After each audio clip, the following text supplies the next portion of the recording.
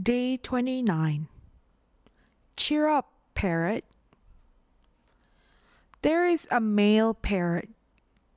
He sings to find a mate, but he fails.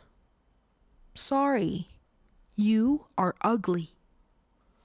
The parrot is so sad.